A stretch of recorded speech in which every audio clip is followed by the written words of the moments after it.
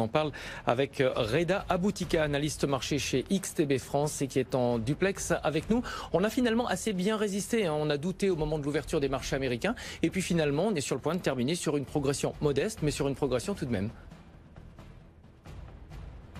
Oui, tout à fait. Après euh, un petit peu d'hésitation en deuxième partie de séance, au final, les indices européens clôturent en territoire positif hein, et continuent de profiter de cet élan euh, d'optimisme lié au conflit commercial qui oppose la Chine aux États-Unis. Alors aujourd'hui, les, publications d'entreprises ont également euh, contribué à la hausse.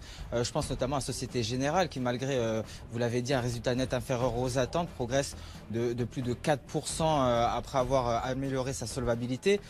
donc à la clôture, hein, le CAC 40 est aux portes de sa résistance majeure à 5880 points. Une résistance de 2007 qui devrait être difficile à franchir pour l'indice français. En Allemagne, euh, le DAX euh, à la clôture légèrement euh, au-dessus pardon, des 13 160 points, un niveau qui n'était pas parvenu à franchir lors des précédentes séances.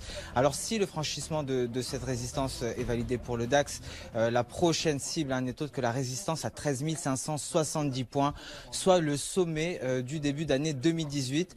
mais ce niveau correspond également au retracement Fibonacci de 160 à 161,8% euh, de la baisse de cet été. En revanche, hein, en cas de repli du DAX, euh, seul le franchissement des 12 835 nous alerterait d'un probable retournement de tendance. Sur euh, le marché des matières premières à présent, nous avons pris connaissance à 16h30 de la variation des stocks de pétrole brut aux États-Unis. Le rapport fait état d'une constitution des stocks à hauteur de 7,9 millions de barils contre 1,5 million attendu. Le WTI a perdu du terrain euh, face à cela et a légèrement euh, retracé. Mais la tendance sur les pétroles reste euh, haussière, une hausse qui est alimentée également par l'optimisme hein, sur le volet commercial. Je vous rappelle que l'enlisement hein, du conflit commercial entre la Chine et les États-Unis a pesé lourdement sur la demande mondiale de pétrole et donc sur les cours de l'or noir. Alors à l'heure actuelle, un seul la signature rapide d'un premier accord permettrait d'entretenir cette hausse. Actuellement, le WTI est au-dessus des 57 dollars, mais surtout au-dessus de son support à 56,80 dollars et la prochaine cible est située à 58 dollars et pourrait être atteinte dans le court terme si l'optimisme se maintient.